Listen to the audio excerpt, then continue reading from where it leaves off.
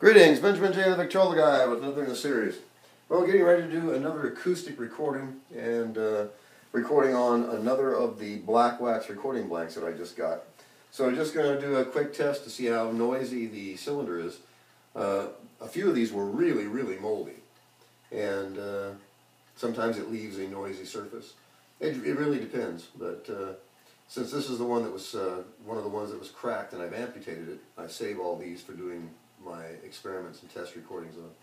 So I'm using the solid speaking tube and uh, just going to do a quick acoustic recording just to see what this uh, cylinder sounds like. Greetings and salutations, Benjamin J. the Victrola Guy making a test recording on the Edison electric cylinder phonograph, recording with the solid speaking tube and recording on a black wax recording blank. Uh, in fact, a lead-free black wax recording blank. This was a group of cylinders that uh, just showed up. Uh, this one was cracked and damaged and really, really moldy.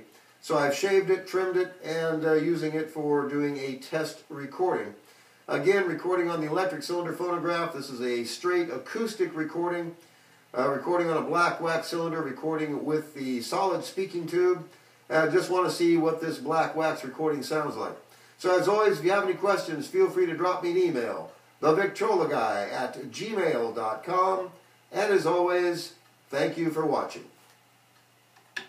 All right. And I will probably play this back through a witch's hat horn. So blow off the swarf, remove the recorder, recorder back in its box, Model C reproducer, and a witch's hat horn.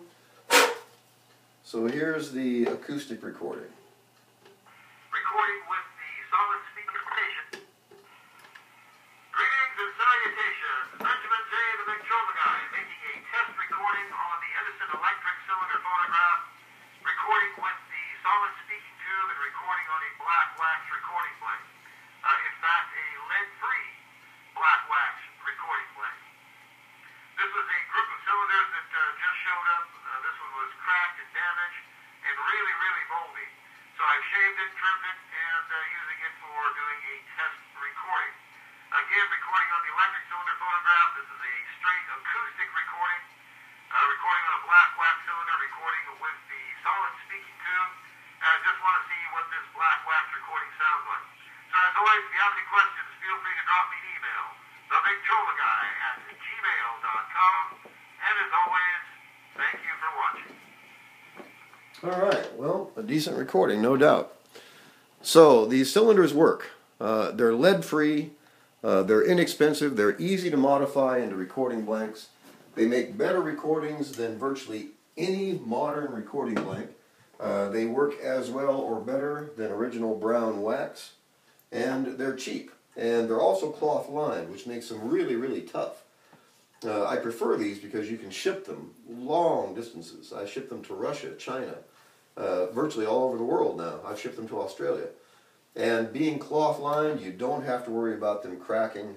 Uh, as long as they don't freeze them, uh, they get there intact. And these are, they make good long lasting recordings, uh, depending on your recorder, of course. And they work. They're available and they're inexpensive.